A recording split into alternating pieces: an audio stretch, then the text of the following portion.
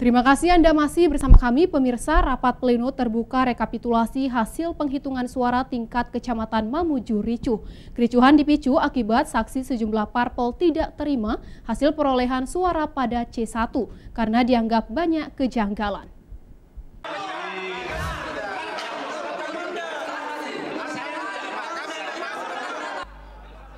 Rapat pleno terbuka rekapitulasi hasil penghitungan suara tingkat Kecamatan Mamuju yang berlangsung di gudang logistik KPU Mamuju berlangsung ricuh.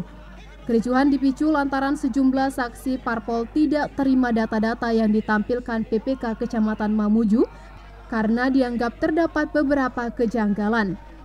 Saksi parpol memberikan contoh pada TPS 3 Kelurahan Mamunyu, Kecamatan Mamuju, Kabupaten Mamuju ditemukan ada suara parpol dan calon anggota DPRD yang bertambah atau dikurangi. Selain itu, ada juga kejanggalan pada perolehan parpol yang sebelumnya kosong pada C1, namun saat diinput tiba-tiba terisi angkanya. Hal tersebut dinilai merugikan serta sangat berbahaya. Sebelum terjadinya kericuhan, sempat terjadi aksi adu mulut antara saksi dan PPK Mamuju. Akhirnya sejumlah saksi memilih walkout. Kemarahan sejumlah saksi pun tak terbendung saat Ketua PPK Kecamatan Mamuju, Rahmat Saleh, mengeluarkan statement yang tidak bisa diterima para saksi.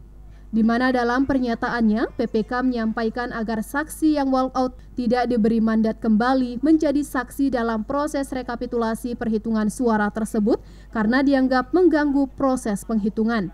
Masalahnya, Masalahnya Pak, ini tadi di dalam. Ya. Ada calon calon dirugikan, diambil suaranya. Ditambah tiga suara dalam satu TPS. Ketika itu terjadi di wilayah Kabupaten Mamuju, Pak, 751 kali tiga itu suara yang ada di dalam. Jumlahnya berapa? 450. Tiga DPR yang duduk.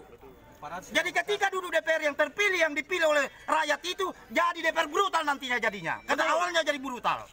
Untuk merendam suasana keributan di depan gudang KPU, pihak kepolisian mengamankan sejumlah saksi dan membawanya ke tempat yang lebih jauh dari gedung tempat berlangsungnya rekapitulasi.